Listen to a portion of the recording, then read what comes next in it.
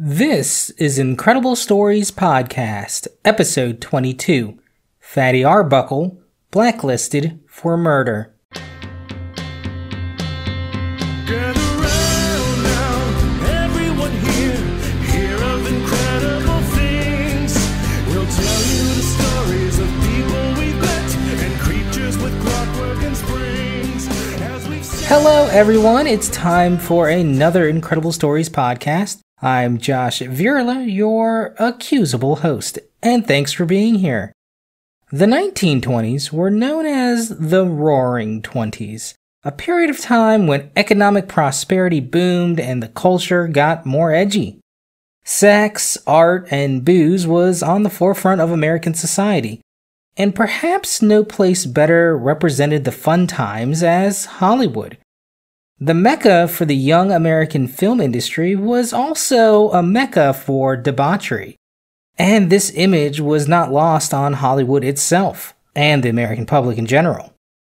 Fatty Arbuckle, one of the biggest stars in Hollywood at the time, found himself smack dab in the eye of the storm in 1921 when he was accused of rape and manslaughter, and the three subsequent trials that followed had a lasting effect not just on his career, but the film industry for many years to come. Here's what I know. Fatty Arbuckle, who had a hilarious name, was actually named Roscoe Arbuckle. Fatty was his stage name. But he went by Fatty in his film career for obvious reasons. He was a large guy, between 250 and 300 pounds, give or take a couple pounds. He came to prominence during the silent era of film, which was roughly between 1895 and 1936. That's known as the silent film era. Although the first talkie was in 1927 and it was called The Jazz Singer, FYI, for any of you bar trivia buffs. But because there was no synchronized sound in this early period of movie making, slapstick comedy was a big seller. And this is where Fatty excelled in. You see, because of the physical nature of slapstick comedy, it worked well when there was no sound. Now, let me go into a little bit of how Fatty began his career. He was a pretty good singer and an agile individual, and while he was working in a hotel one day, a professional singer overheard him singing while he worked, as people do from time to time, and he invited him to perform at an amateur talent show. And this was the kind of talent show where the audience would judge an act's worthiness by cheering and clapping. I'm sure you're all seen your high school talent shows or whatever. Now, if you sucked, you got the hook off the stage.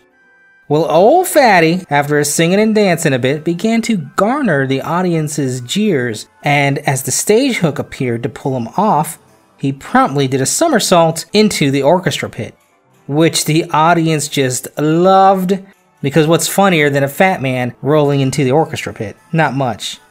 Well, this saved him from the hook, and it also won him the talent show. So, you know, this inspired him and motivated him to pursue this kind of career. And soon after winning, he began performing on the regular. He performed in variety act type of shows and in theater troupes, and he soon became the main draw of these shows. He traveled around the world, and in 1909, he began his film career. But he really got his big break in Keystone Cops, which were silent film comedies about incompetent policemen. And you might hear people refer to incompetence nowadays with Keystone Cop insults. This is where that's from. By 1918, he was getting so popular with his pie in the face comedy that his movies were making huge money for the studios. So much so that Paramount offered him a three year, $3 million contract. So that's $1 million a year. Pretty nice. And at this time, $1 million was equivalent to $16 million today. And over three years, that's about $48 million in today's money. So that is very lucrative back then. And even today, I mean, heck, half of that is phenomenal. You go, Fatty. And he did go. In fact, Fatty Arbuckle was the first actor in Hollywood to be paid $1 million. And this was in 1918. That's an absurd amount of money. Well, as you can imagine, Fatty was riding high in 1921, and Fatty's friend, Fred Fischbach, decided to plan a little Labor Day bash in the form of a three day excursion with Fatty to the St. Francis Hotel in San Francisco to celebrate. I imagine the planning went something like this.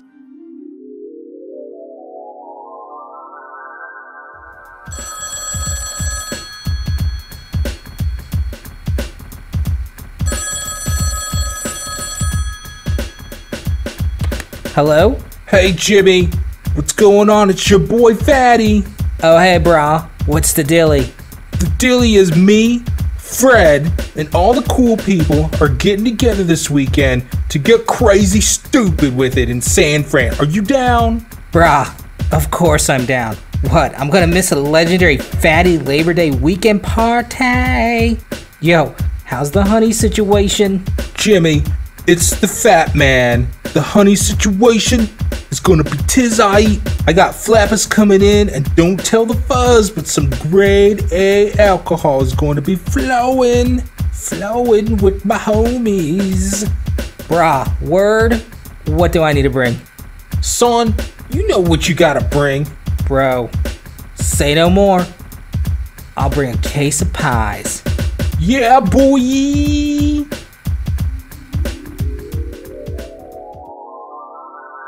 So, I guess that's how it went down. Yeah. So, Fatty and his friends uh, rented out some rooms on the 20th floor of the hotel. And as you can imagine, in the roaring 20s, it was pretty well stocked with some bootleg liquor. And everyone was drunk. Now, to be clear, Fatty didn't plan the party, it was all Fred's idea. But with any good A list party, there's bound to be young starlets and shady people who want to get in on the shindig. And two of the people who wanted to get down in the shindig were the partygoers named Virginia Rappe and Maud Delmont. Now, Rappe was a clothing designer slash model slash small time slash aspiring actress. And Delmont was a woman well known to authorities for extortion, racketeering, being a madam, and other questionable activities. In fact, the police had filed at least 50 counts of said activities against Delmont. Classy lady. So, September 5th, uh, Monday, rolls around and it's 3 p.m. Fatty decided to retire from the party and get ready to go sightseeing, because that's what you do in San Fran after getting drunk. But what happens next is the bone of contention, so to speak. And I'll just pass along the two different accounts. First, Fatty's version. Fatty said he went to his room and found Virginia Rappe in the bathroom throwing up. He then said he assisted her in cleaning herself up, then escorted her to the bed to rest. Of course, he thought she was overly intoxicated, so he left the room but then came back to the room a few minutes later and found Rappe on the floor. He then put her back in the bed and left to go get help. Now, here's Ma Delmont's version. She said that Mr. Fatty herded Virginia Rappe into his bedroom and said something like, quote, I've waited for you for five years, and now I've got you, unquote. She then says that partygoers heard Rappe scream and that she went to Fatty's room to try to open the door, and she couldn't open it. She even tried kicking it in, still couldn't open it. But then Fatty finally came and opened the door wearing Virginia's hat and smiling foolishly, and said also that Rappe was naked and moaning in the bed behind Fatty. So, those are the two questionable accounts the next part is more verifiable by the other partiers, and it happened this way.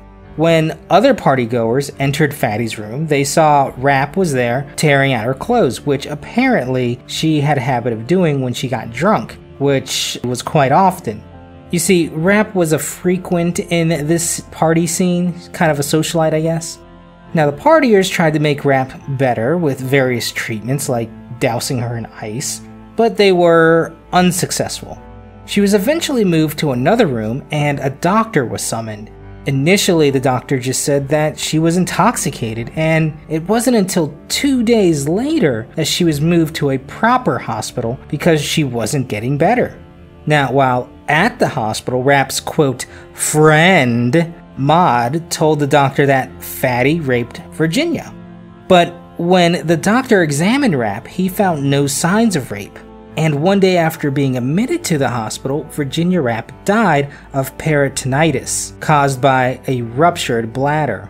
And peritonitis is an inflammation of the membrane around your abdominal wall and organs. Causes may be medical procedures, ruptured appendixes, pancreatitis, or trauma. There's other ones too, but those are kind of the basics.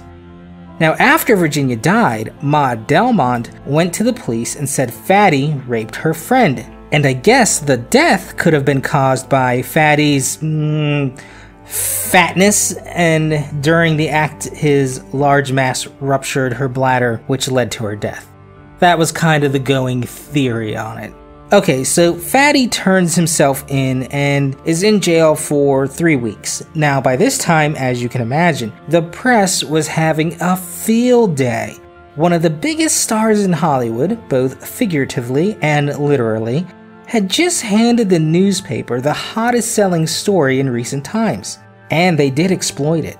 Yellow journalism was running amok, and rumors of Fatty's sexual depravities and the events in the hotel were feeding a public hungry for the salacious details. There were graphic accounts of ice and bottles being used on Miss Rappe by Fatty, as well as cartoons depicting Fatty as a hard drinking sex fiend. So Fatty was charged with manslaughter and went to trial in November. And as you can imagine here, with the national interest this garnered, it was hard to find impartial people for the jury. But I suppose what follows is a classic case of trial in the media versus actual evidence. So the first trial ended in a hung jury with 10 in favor for acquittal and 2 in favor of finding Fatty guilty. The next trial happened in January and also ended in a hung jury, this time 10 in favor of guilty and 2 in favor of acquittal. The third and final trial was in March of 1922, and it resulted in an acquittal in less than five minutes of deliberation. Hooray! Hashtag justice for Fatty. Only after the trials, Fatty's career took a hard nosedive. Around the time of the trials, Hollywood decided it needed a rehabilitation of its wild image and not just because of Fatty's incident, although his was the cherry on top of a string of scandals and deaths that rocked Hollywood. But in order to have a better public image, Hollywood developed the Hays Code, which was a self policing organization to help guide the industry's morals. It was started in 1922 by Presbyterian elder Will Hays, and this organization was kind of the precursor to the movie rating system you know today PG 13, R, etc. But the code set out some strict guidelines for movie makers to follow, and I'll link these in the show notes as it's too many to go over here. But some of the don'ts include no inference of sex perversions, no depictions of interracial relationships, no ridicule of clergy, and no depicting children's sex organs. Hit and miss on many points. So, this Hays Code, which is sometimes also called the Hays Office, blacklisted Fatty because of the scandal, even though he was found not guilty. Studios didn't want anything to do with him because of the public perception. Now, the Hays office did lift the ban after about eight months, but it's hard to put the genie back in the bottle. You see, the damage was already done to Fatty's career. And for years, Fatty couldn't get work. He spiraled downward into what we might call today depression, finding solace in alcohol. He just had a really rough time with dealing with this. I mean, think about it yourself. You're on top of the mountain, and boom, you get knocked down it. Now, during this time, he went through several divorces, but eventually he started getting work again. Mostly bit parts, and he did some directing, but under a pseudonym. Now, in 1932, 10 years after the scandal, Warner Brothers signed him to a contract, and it seemed old Fatty A was ready to make a comeback. But in June of 1933, shortly after signing his new contract, he had a massive heart attack, dying in his sleep at the age of 46. And that's the story of Fatty Arbuckle, media hysteria, and blacklisting. And now you know what I know. This has got to be one of the greatest Hollywood scandals ever. You see, Fatty Arbuckle was a huge star, and I, I can't emphasize that enough. And his on screen charm and physical comedy gifts surely puts him up there on par with other large and hard partying funny men like Chris Farley, John Candy, and John Belushi. Interestingly, all three of those men were considered to play Fatty Arbuckle in movies at some point, but these movies never quite got off the ground. But what about the death of Virginia Rappe? Well, her death, although tragic, seems like it may have actually stemmed from a recent abortion, and the hard weekend of parting only exasperated the condition. You see, that rupture she had internally was probably from a botched abortion procedure, or at least, you know, the medical standards back then weren't quite what they are today. So you can see where it was easy for her to have something go wrong, not really know it, go out partying, and just it spiraled out of control until she died. I have no doubt Fatty didn't kill Rappe. And together with the dubious blackmail tendencies of Delmont, it's easy to see why the third jury got the verdict right, after the media sensation died down, a little anyways. Another odd aspect of the scandal was that a lot of Fatty Arbuckle's films weren't preserved. So he may not be as familiar to audience today as many of his contemporaries. The lack of preservation seems to be from a combination of just poor archiving in early Hollywood, but also a lack of interest because he was blacklisted after all. Who cares about a deviant pervert's films, right? Well, Hollywood didn't, so they didn't really make an effort to save those aspects of his, his work. It's a shame a promising career was derailed so harsh and so quickly, but perhaps this should serve as a cautionary tale, not just to the media, but also as a consumer of news. It's wise not to leap before all evidence is in, but I suppose the thirst of the media and the general public for a scandal in the 1920s isn't so much different than today. But now for something that also hasn't changed much over the years the haiku.